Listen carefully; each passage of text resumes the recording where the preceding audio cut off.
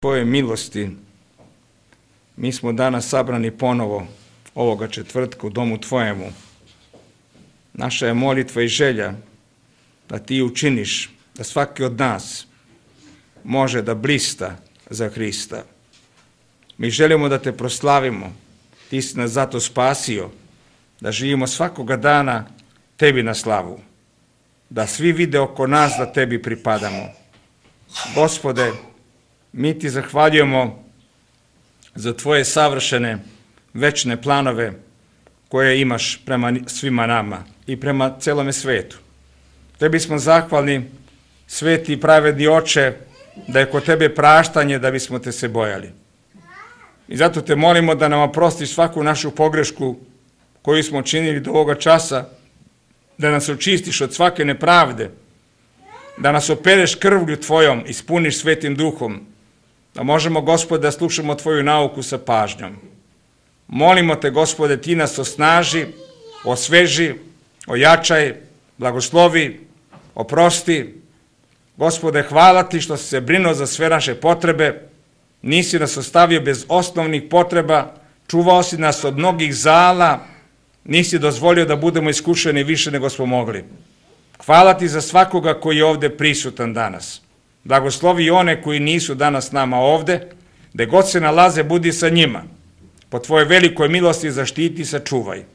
Blagoslovi celu našu zemlju. Molimo Te za mir i slobodu u našoj zemlji. Molimo Te da blagosloviš sve zajednice, braću i sestre, sve gospode koji čitaju našu literaturu, kojima šaljemo, učini je blagoslovom, kako u Srbiji, tako i u drugim republikama. Gospode, molim Te, smiluj se na bolesne, blagoslovi rutu i sačuvaj i pomozi da se može potpuno poraviti. Blagoslovi gospode i ovde, danas, one koji nisu s nama, gospode koji su sprečeni. Hvala ti gospode što možemo da budemo kod nogu našega spasitelja Isusa Hrista i da slušamo tvoju nauku. I danas, gospode, daj meni snage i kreposti da mogu da iznesem silom duha svetoga ono što je tvoja volja u ovim rečima koje ćemo danas proučavati. Ti nas prosvetli, urazumi i blagoslovi, molimo to ime gospoda i spasitelja Isusa Hrista. Amin.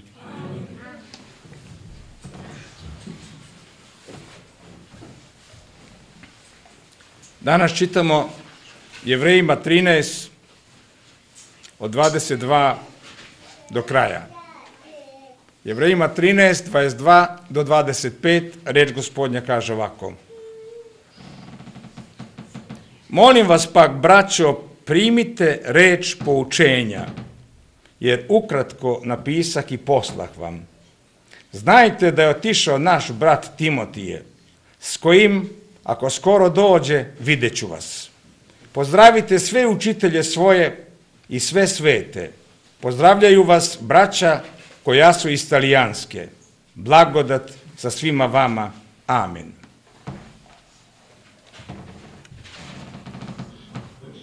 Prošli put smo proučili stih 21.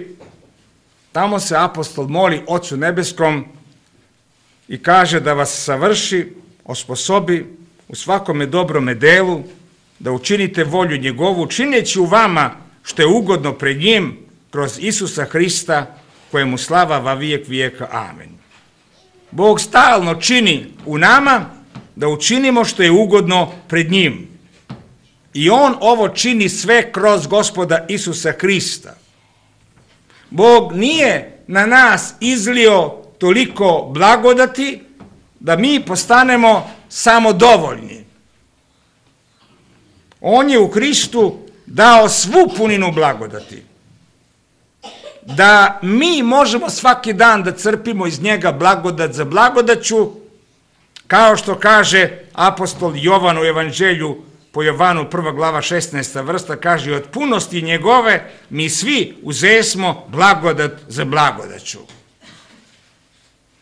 U Hristu je svaka punina božanstva telesno. I Bog je učinio da udovi tela Hristova budu ovisni o glavi.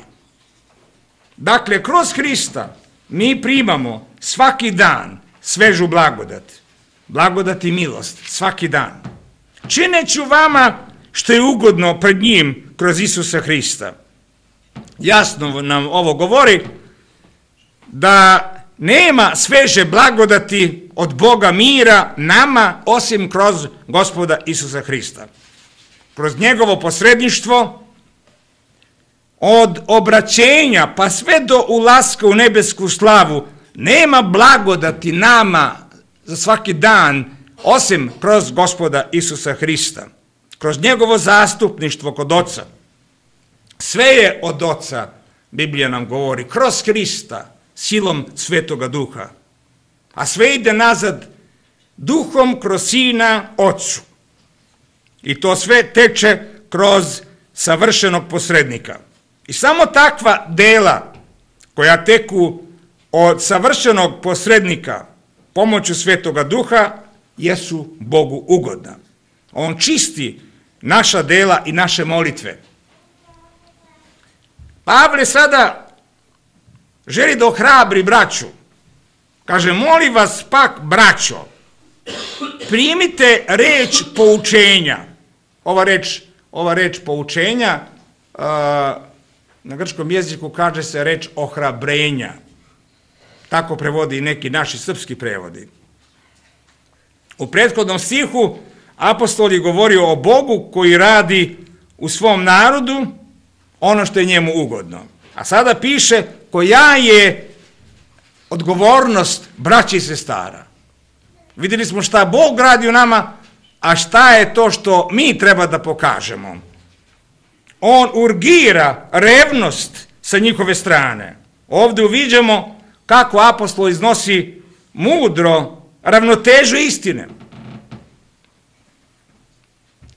Na Božje delovanje on dodaje našu odgovornost. Ja verujem apsolutno u Božji suverenitet, ali verujem isto tako u ljudsku odgovornost. Jako je to Bog koji čini u nama da učinimo što je pred njim ugodno kroz Isusa Hrista, pišu Filipljanima druga glava 12. i 13. vrsta, a 13. vrsta kaže gradite spasenje svoje sa strahom i drhtanjem. Izgrađujte vani ono što Bog čini u vama. Kako mi možemo da znamo da u nekoga Bog radi? Da Bog u nekome čini delo? Ako vidimo da taj čini volju Božju sa strahom i sa drhtanjem, ima strahopoštovanje. Ako neko ima strah Božji u životu, u srcu, to je znak da u Bogu njemu radi. Zato što kaže ovde, jer je Bog koji čini u vama da hoćete učiniti kako mu je ugodno, pa onda kaže, gradite spasenje svoje sa strahom i sa drhtanjem. Dakle, Boži suverenitet, ljudska odgovornost, to ide zajedno. Kada apostol piše ovde, molim vas, pak braćo, primite reč poučenja, to znači ohrabrenja. On misli na celu, on misli sad ovde na celu poslanicu. Primite ovu reč ohrabrenja kroz celu poslanicu, može biti i poučenja, jer tu, se, tu sadržano je puno stvari. Ovde se podrazumeva poučenje, ohrabrenje, uteha, upozorenje. Ovo je sasvim prava reč da apostol sumira celu poslanicu od početka do kraja. Sadržaj poslanice jeste moćna motivacija za ustrajnost u veri, za potpuno predanje gospodu Isusu Hristu i Novom Zavetu, uzvišene veličanstvene teme koje apostol izna kroz ovu postanicu su osnov za ovakvo ohrabrenje. Apostol vrlo taktički i nežno u skladu sa Novim Zavetom piše molim vas pak. On želi da oni ljubazno prihvate ono što im on ljubazno piše. Pavle ne sedi na nekom prestolu i da zapoveda, iako je apostol na to imao kao apostol pravo, ali on stavlja sebe na istoj visini sa njima i nežno ih moli.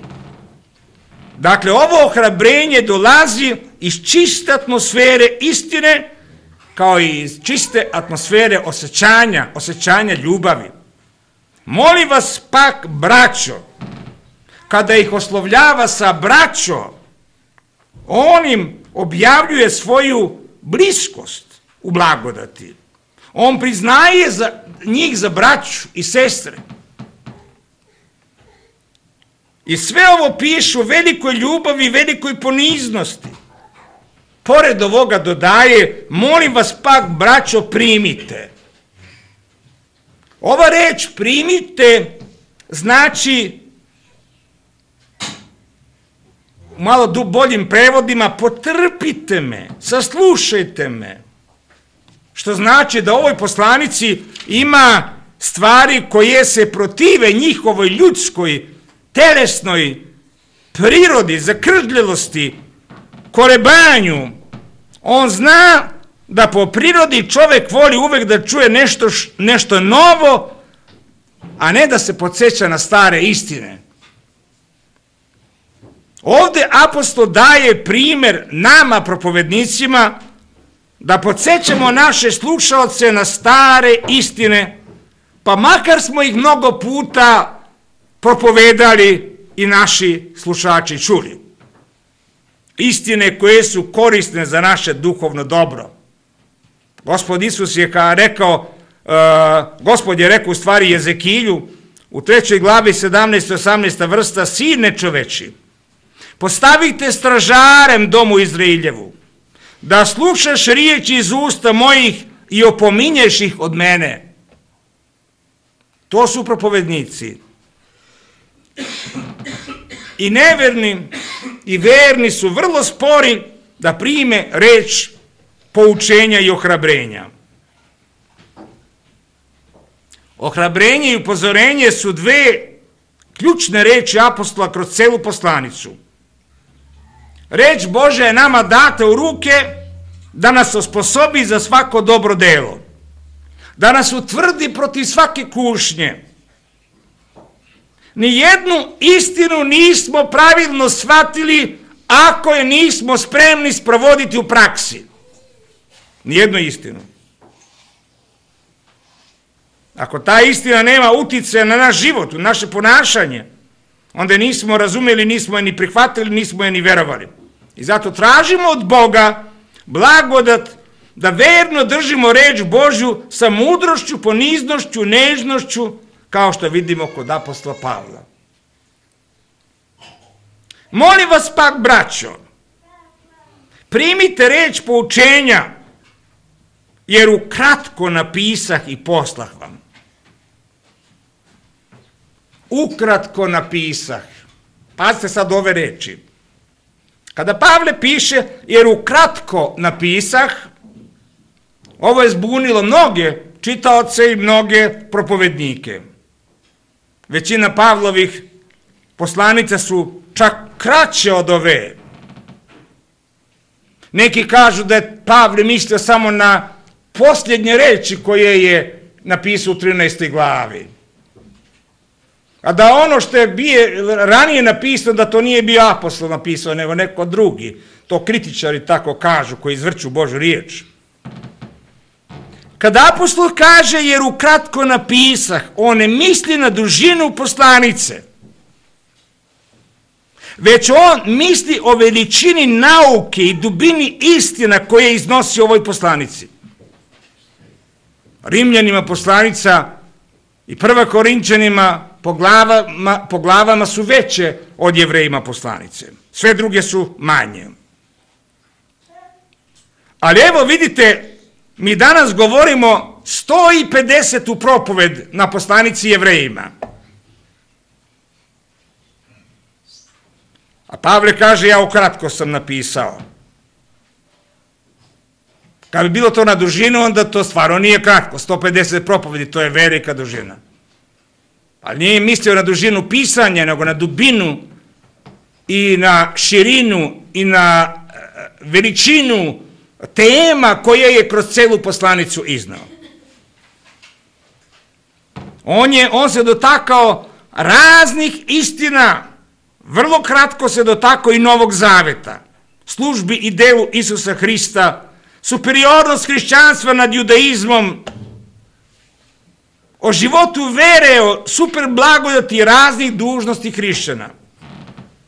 Modernim hrišćanima ovo je dugačka i dosadna poslanica. Ali Pavle kaže, jer ukratko napisah. Dotakao sam se mnogih tema, ali ukratko. Mnogi hrišćani plivaju u pličaku. Oni uživaju da plivaju u pličaku tamo gde su žabe i crvi. Ali biseri se nalaze kad ronimo u dubine. I Pavle ovde rekao da je on samo kratko, samo u pličaku dotakao se nekih tema kroz celu poslanicu. Ali ih se dotakao. Vrlo važnih tema. Mi možemo, kad bismo imali vremena, samo o Novom Zavetu da propovedamo najmanje 50 propovedi. A on se dotakao samo malo u devetoj i desetoj glavi.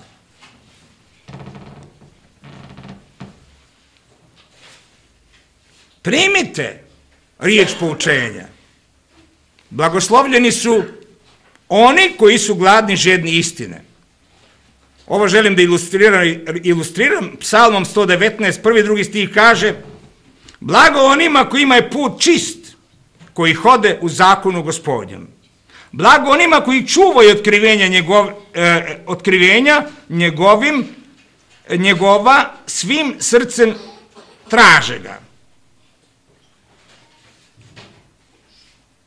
Psalmista počinje sa, sa onim u čemu se sastoji prava, prava, a, pravo blaženstvo. Mnogi ljudi žele da budu blaženi, blagoslovljeni, da budu sretni, ali Psalam 4 kaže da mnogi ljudi kažu, mnogi govore, ko će nam pokazati šta je dobro? Čovjek je zaslepljen od grešne prirode i sotone, da ne zna gde se nalazi sreća i dobro. I kako se ta sreća i dobro dobija. Tako je Sotona dobro uradio svoj domaći zadatak, da je prevario ljude da ne znaju da je sreća plod svetosti i čiste savesti. David je kazao, a meni si dao u srce radost veću nego što je oni imaju kad im rodi pšenica i vino. Psalam 4.7. Neverni su sretni kad imaju puno izobilja zemaljskoga, pšenice i vina, a David kaže da je on dobio veću radost iz zajednice gospodnje, iz Bože riječi, nego svi bezbožnici što imaju. Psalmista kaže da je blagoslovljen čovek kome je put čist. Njemu je put čist, zato što traži Boga svim srcem. Zatim kaže, ti si dao zapovesti tvoje da se čuvaju dobro. Bog je zakonodavac i on ima pravo da zapoveda, a psalmista odgovara pa kaže, kad bi putovi moji bili upravljeni, da čuvam naredbe tvoje, 119. stih. Ovime psalmista iskazuje svoju krajnju slabost kao i potrebu Bože blagodati, da ga osposobi da tvori volju Božju. Ovo je znak na novorođene osobe. Na novorođena osoba ima želju nove prirode, kada se srce promeni, ono ima nove želje, nova uživanja. I zato on kaže, kad bi putovi moji bili upravljeni da čuvam naredbe tvoje, on se moli ovde, Pavle piše u Ribljenim 8.5 jer koji su po tijelu telesno misle, koji su po duhu duhovno misle. Kada se ljubav Bože izliva u naša srca svetim duhom, mi želimo da činimo volju njegovu i volimo Boga iznad svega. Apostol Jovan kaže u 1. Jovanova 5.3 jer je ovo ljubav Božja da zapovesti njegove držimo, a zapovesti njegove nisu teške. To su zapovesti Novoga Zaveta. I zato se moli psalmista, kad bi putovi moji bili upravljeni da čuvam naredbe tvoje. To je čežnja novorođenog srca koje traži blagodat da bi mogao držati Božu riječ. On se još moli u 12. vrsti, kaže, blagoslovljen si gospode, nauči me naredbama svojima. Ono što Bog traži od nas, mi treba da ištemo od njega, jer mi to nemamo.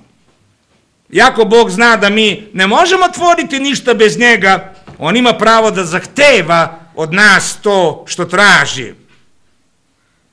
I da nas presvedoči da bez njegove blagodati mi smo nemoćni. I psalmista se moli da Bog njega nauči da čuva njegove naredbe i da mu da blagodat za to. Onda kaže psalam 119, 15. vrsta, o zapovestima tvojima razmišljam i pazim na putove tvoje.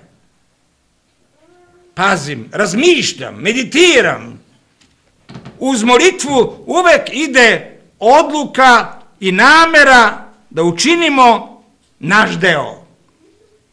Prije nego pazi na Bože putove, on treba da misli, da meditira o Bože riječi. Kad nešto volimo, mi o tome mislimo. Gospod je kazao Isusu navinu, kad je Mojsije umro, neka se ne rastavlja od usta tvojih knjiga ovoga zakona, nego razmišlja o njemu dan i noć, da držeš i tvoriš sve kako je u njemu napisano, jer ćeš tada biti srećan na putovima svojima i tada ćeš napredovati. Evo gde se nalazi sreća. Kada mislimo i kada tvorimo reč gospodnju. On je slaže u srcu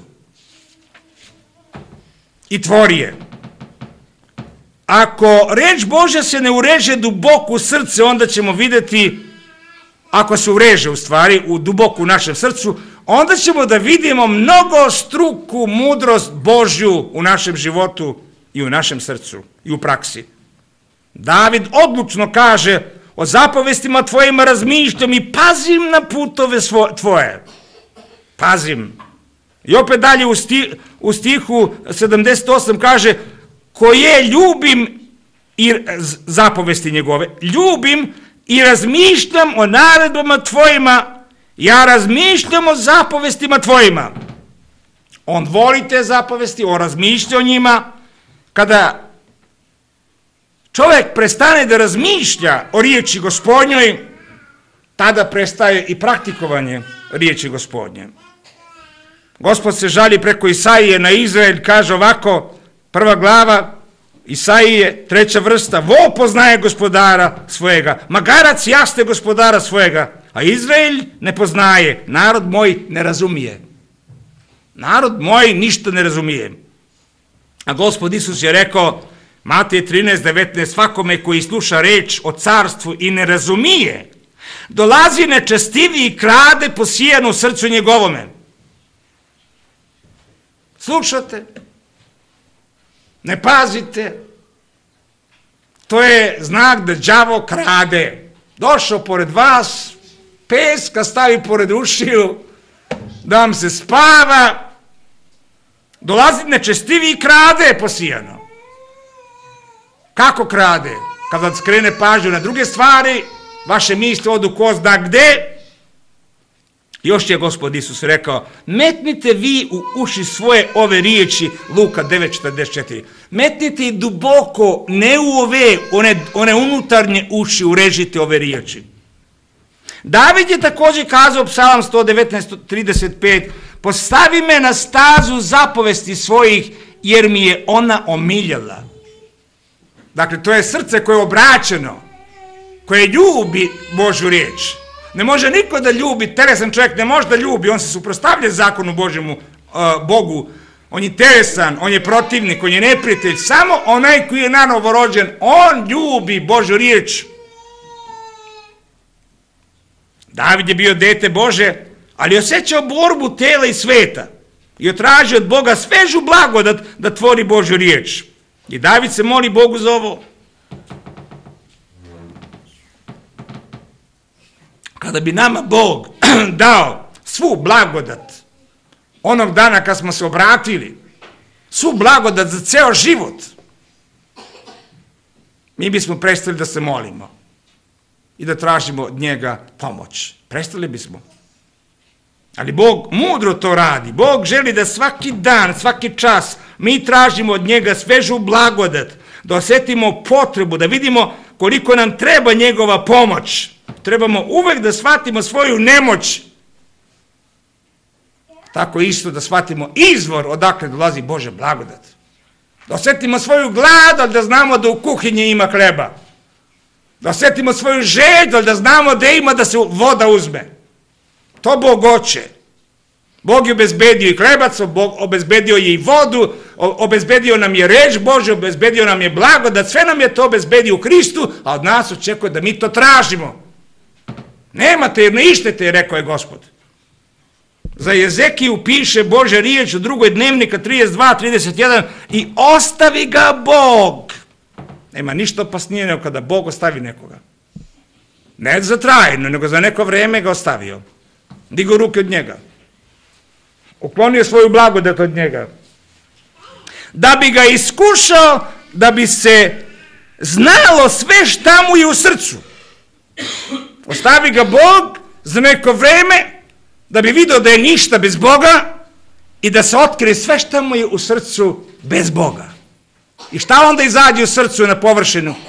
Sve telesno, sve grešno, sve ono prljavo, sve nečisto. Bog to čini sa svima nama ponekada. Sa svima nama Bog to čini. Ostavi nas neko, digne ruke od nas. Da bi nas iskušao, da, da sami mi vidimo šta nam je u srcu. Mnogo puta mi se prstimo kako smo mi jaki duhovno, kako nas niko ne može ništa pomeriti sa puta Božega, to je jako pogrešno. Treba uvek da se uzdamo u njega, samo u njega i da shvatimo da smo ništa. Zato se David molio, previ srce moje kao otkrivenjima svojima, a ne klakomstvu. Psalm 119.36. Srce telesno je sklono lakomstvu, stvarima. Još ovo, daj ovo, kupi ovo, daj još ovo. Još, još, još, pijevica ima tri čeri, četvrta kaže nije dosta nikada. To je lakomstvo. Ali, Kaže David, previ srce, to je telesno srce koje to traži, ali novo srce kaže, previ srce moje kao otkrivenjima svojima neklakomstvu. On se moli osjeća da ima neka sila tela koja ga vuče ka lakomstvu. Moramo se moliti da nas Bog okrene, da volimo njegovu reč na prvom mestu. I kada Pavle kaže ovde jevrejima primite reč poučenja mojega, Trebamo da se molimo za svežu blagodat, da primimo i tvorimo ono što nam je napisano u Svetom pismu. 23. vrsta završne reči. Znajte da je otišao naš brat Timotije, s kojim, ako skoro dođem, vidjet ću vas. On želi sada da braća kojima on piše poslanicu znaju da je Timotije koji je tada bio poznat propovednik otišao. Ali šta nam to svedoči? Ovde nije dobro prevedeno. Doktor Birviš prevode, ali i Čarnić isto. Javljam vam da je naš brat Timotije pušten iz tamnice. To je pravi prevod. Dakle, Timotej je bio zatvoren u Rimu, negde u nekom zatvoru. Timotej je bio poznat propovednik mnogim crkvama, skoro svim crkvama, to piše 2. Korinćanima 8.18. Posta smo pak s njim, sa Titom, i brata je, e, kojega je pohvala u evanđelju po svim crkvama, znači Tita i Timoteja. Bio je poznat, nosio je dobrovni priloge za braću u Jerusalemu sa Titom. Poznat je svim crkvama, Timotije je bio učenik apostola Pavla. Uvek je putovao sa Pavlom. A pošto je sa njim bio u Judeji, bio je poznat braći u Jerusalemu i Judeji. Timotej znači dragocen Bogu. To je prevod reči Timotej, dragocen Bogu. Njegov otac je bio Grk. Majka mu je bila jevrejka. Majka mu je bila prava hrišćana, takođe i baka. To čitamo u 2. Timoteja 1.5 piše opominjući se nelicemerne u tebi vere, koja se useli najprije u babu tvoju Loidu i u mater tvoju Evnikiju, a uveren sam da je i u tebi. njemu je dakle i baba i majka bili su verne. Ova porodica je živela, znate li gde? U Listri. Prva Pavlova poseta Listri zapisana je u delima 14. glava, dela 14. glava. Tamo su Pavli i Varnava propovedali kad su došli. Tamo je Bog učinio čudo kroz Pavla iscelio čoveka hroma od rođenja, deseta vrsta, 14. glava. Ovo je ostavilo snažan uticaj na pagance, da su pomislili da su sišli bogovi sa Olimpa. I nazvali su ih grškim imenima, bogovima. Pavle, znate kako im je rekao, suprostavio se tome. Ubrzo posle ovoga došli su judaisti iz Antiohije i Konije i uverili ljude da kamenuju Pavla. Tom prilikom Pavle bio mrtav i gospod ga je oživeo. Druga Korinčanima prva glava 8 do 10. Prilikom ove posete u Listri, Timotej se obratio. Prilikom prve posete. To je jasno, jer Pavle piše za njega, prvo Timotiju 1.2, Timotiju pravome sinu u veri. Dakle, on je moj sin u veri, on se obratio preko mog propovedanja. Obratio se kad je Pavle prvi put došao u Listri. On piše Timotiju, druga Timotiju 3, 10 do 11, a ti si se ugledao na, a, na moju nauku, življenje, nameru, veru, snošenje, ljubav, trpljenje, proterivanja, stradanja, kako mi se dogodiše u Antijokiju i Ikoniju i u Listri. Kakova protivljenja podnesok i od sviju me izbavi gospod. Ljudi iz, iz Listre su iznali telo Pavla van, izvan grada, 19. vrsta, 14. glava dela apostolskih. Mislili su da je mrtav. Ali Bog je podigao Pavla. Tom prilikom, ja duboko verujem da je tom prilikom Pavla otišao u treće nebo. I onda kad ga je Bog podigao, on se vratio u grad, sledeći, sledeći dan je otišao u Dervu, a pošto je propovedao evanđelje tamo, vratio se ponovo u Listru. Piše 22. vrsta, utvrđujući duše učenika i savjetujući ih da ostanu u veri i da nam kroz mnoge nevolje valja ući carstvo Bože. Tako je Timotej nazvan i učenikom tada, pišu u delima 16. glava, 11. vrsta, biješe jedan učenik po imenu Timotej. Pošto mu je majka bila jevrejka, Pavle je radi jevreja, da bi koristio Timoteja kod jevreja, da propoveda jevrejima, obrezao Timoteja zbog jevreja. Da bi ga jevreji bolje primili. I Timotej je bio sa Pavlom na drugom misijskom putu. Timotej je plakao kad je čuo da je Pavlu zatvor. Piše drugo Timotej 1.4. Nigde ne piše kada je Timotej bio zatvoren. Ali sada Pavle kaže, javljam vam da je naš brat Timotije pušten iz tamnice. Timotej nije bio pomoćnik nijednom drugom apostolu, sem apostolu Pavlu i njegov učenik. Nisu bili u istom zatvoru. Biti u zatvor radi evanđelja jeste čast. Ali velika je radost kada izađe na slobodu, radosti njemu, radosti onima kojima se on vraća, vernima. Ovo su bile radosne vesti. Pavle javlja braći jevrejima i on zna koliko su oni Timoteja poštovali. Timotej još nije posetio Pavla. On je izašao iz zatvora, na drugom kraju Rima negde bio i Pavle očekuje da on svrati kod njega pre nego bude otišao. I zato piše, s kojim, ako skoro dođe kod mene u zatvor, vidjet ću vas. Da li se ovo ispunilo, ne znamo.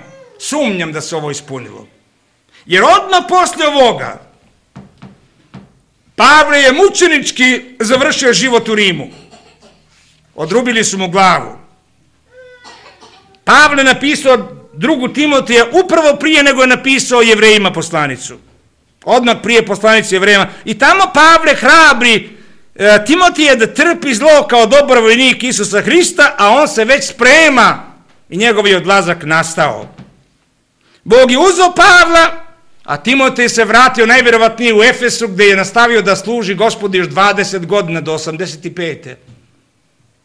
Bog uzima jedne, podiže druge. I sada na kraju pozdravi. Pozdravite sve učitelje svoje i sve svete. On je prvo rekao u 17. vrsti i 7. vrsti da oni treba da slušaju svoje učitelje. A sada ih pozdravlja. Ovo su bili iskreni pozdravi. Od srca srcu, ne samo neki običaj. Prva Solunjima 4.9 Pavle kaže, a za brato ljublje ne trebujete da vam se piše, jer ste sami od Boga naučeni da se ljubite među sobom. Kako je to bilo divno kada su se braća i sestre voleli u gospodu. Jovan piše, mi znamo da pređo smo iz smrti u život, jer ljubimo braću. Jer ko ne ljubi brata, ostaje u smrti, 1. Jovanova 3.14. To mora da je istini danas. Ako verujemo da sveto pismo istinito, Božja riječ, ona je istinita za svagda. I danas, ako neko ne ljubi brata i sestru, božanskom ljubavi, taj nije na novorođen. Pavle pokazuje širinu i dubinu svog srca. Pozdravite sve učitelje svoje i sve svete. On želi da ima sa svom vodećom braćom mir. Da bi oni primili apostolovu nauku iz poslanice jevrejima. Ovo je i dobar primjer drugima. Još kaže Pavle pozdraviti sve svete. Boži sluga ne gleda ko je ko u crkvi. On pokazuje jednako poštovanje svima vernima. Crkva nema neke posebne svece i lajke. To je apsolutno pogrešna podela. Sve svete, svi koji, a koji su sveti, ko su to sveci? Svi koji veruju gospoda Isusa Hrista, koji su oprani njegovom krvlju i svetim duhom nanovo rođeni, uzveravali u Hrista, oni se u Bibliji zovu po Novom Zavetu sveti. Kroz Hrista oni su oprani krvlju Hristovom, opravdani, iskupljeni, oni su sveti. U Hristu su sveti. Ova poslanica sadrži tvrdu hranu, ali i mleko, ali je upućena svima. Pisanja pisanja proroka i apostola su čitana javno svima vernima i nevernima koji su prisustvovali. Ništa nema tajno. Zato cijela Biblija je data da se propoveda javno. Ko će da veruje, neka veruje, ko neće, neka odbaci. Ovi su također sveti jer su preporođeni svetim duhom. Oni teže ka svetosti. To se vidi u njihovom životu. Samo ovakvi su članovi crkve koji su nanovo rođeni, oprani kroz Hrista verom u njegovu krv. I onda kad je iznao pozdrave propovednicima i svima svetima, onda on šalje i pozdrave iz, iz Italije. I kaže, pozdravljaju vas braća koja su iz talijanske.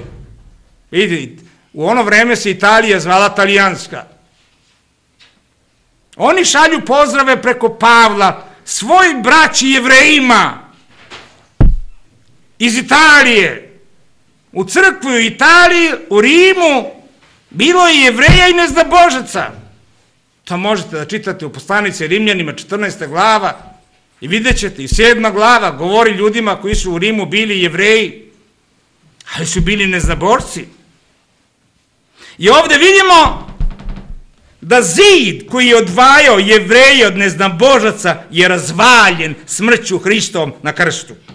O tome Pavle piše u Efežanima koji su bili prije neznaborci. Zato opominjite se da vi koji ste nekad neznaborci bili po telu i nazvani neobrezanje od, od onih koji su se zvali obrezanje po telu koje se rukom radilo od jevreja.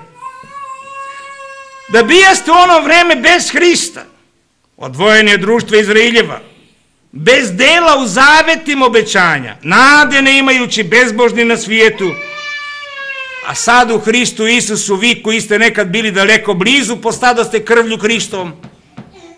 Jer je on mir naš koji oboje sastavi u jedno i razvali plot koji je rastavljio neprijateljstvo telom svojim. Zakon zapovesti naukama, ukinuvši da iz oboga načini sobom jednoga novoga čoveka, čineći mir. Crkva nije nastavak judaizma. Crkva je novi čovek. Sasvim novi čovek, sastavljen od svakoga naroda, plemena i jezika. Jevreji su bili samo jevreji. Judaizam je otišao, a sada je Bog sklopio sebi crkvu od svakoga naroda, plemena i jezika i ovde vidimo braća iz Italije koji su bili jevreji, koji su bili i, i, i paganci, rimljani, italijani, Svi šalju pozdrave braću jevre, braći jevrejima u Jerusalimu i Judeji. Timo, Timotejev otac je bio Grk, majka jevrejka, ali kad su zverovali, oni su postali hrišćani. Nije on više bio neznabožast, nije ona bila više judeista, oni su bili hrišćani. Kako je to divno. A sada jedno u Hristu. I sigurno da su ovi iz Italije bili izvan okola judaizma. Jerusalim više nije centar svedočanstva i hrišćanstva. Kroz tri godine Jerusalim će biti potpuno uništeni hram. Pozdravljaju vas braća koja su istalijanske. Ovde vidimo pobedu duha na telom, kako hrišćanstvo topi sve predrasude. Rimljani i jevreji, italijani i jevreji bili su običaj da se veoma preziru. Ali sada u Hristu nema više jevreja, nema više ni italijana, nema više Srbina, nema Hrvata, nema Albanca, nema Slovaka, nema Mađara. Svi smo mi koji verujemo jednu Hristu. Evo nas ovdje ima i Slovaka, i Hrvata, ima nas i Crnogoraca, i Srba, i podsjetite ako sam nekoga zaboravio. Kako? Pa da, bez obzira ko je, od svakoga naroda, plemena i jezika, gospod prima u svoju crkvu.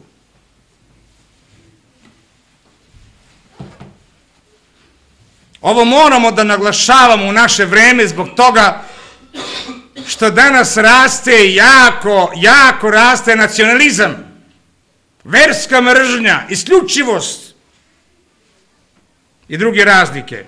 Svi koji verujemo u Hrista Isusa, jedino u njega, mi smo jedno u njemu, nema razlike među nacijama. I da zaključimo našu poruku, Pavle kaže, blagodat sa svima vama, blagodat sa svima vama. Ovo je Pavlova izjava. Ako niste znali da je do sad da Pavle napisao ovu poslanicu, treba sad da znate. 13 puta u 13 poslanica na svakom kraju poslanice Pavle kaže blagodat sa svima vama. To je njegov način kako piše. To nam on sam kaže u drugoj Solunjima 3. glava 17 i 18 kaže pozdrav mojom rukom Pavlovom koja je znak u svakoj poslanici ovako pišem blagodat gospoda našega Isusa Hrista sa svima vama. Amen.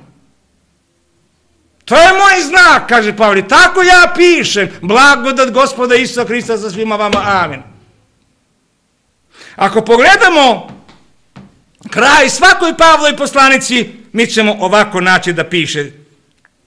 To je izraženo kod Pavla najviše, kod drugih nije izraženo ovo. Blagodat sa svima vama, zato što niko nije tako otkrivenje blagodat imao kao što je imao apostol Pavle. Nema veće i sve obuhvatnije želje i molitve za verne ljude, nego upravo ove, da blagodat bude sa svima. Sve što nam je potrebno spasenja do ulaska u nebo, nalazi se u ovo riječi, blagodat. Blago, dato, dato blago, blagodat. Kroz blagodat smo spašeni, kroz blagodat smo sačuvani, u blagodati stojimo, dobijemo sve blagoslove i kroz blagodat ćemo da uđemo u nebo. Blagodat sa svima vama. To znači da su oni svi učesnici spasenja. Da li je Pavle sa žaljenjem završio ovu poslanicu, ne znamo. Ali on kaže da je ukratko napisao o mnogim temama, ukratko, znači mogo je on mnogo više da napiše, ali ukratko.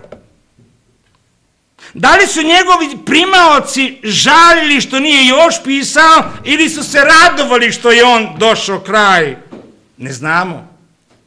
Ali pitanje za nas jeste, da li sada, braći i sestre, bolje poznajemo poslanicu jevrejima nego kad smo počeli da je proučavamo?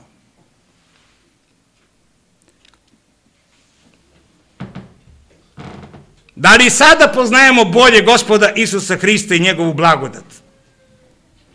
Judaizam je propao, ali Sotona podiže danas mnoge sisteme, mnoge sekte, da zamagli blagodat ono što je gospod Isus Hristos učinio. Sve principe za borbu protiv lažnih sistema imamo u ovoj poslanici i u ovoj riječi blagodat. Da nam gospod Isus Hristos treba da nam bude sada na kraju mnogo stvarniji nego kad smo počeli proučavati ovu poslanicu. Neka bi božanska blagodat bila i ostala sa nama, svima, od sada i uvek. Blagodat sa svima vama. Amen.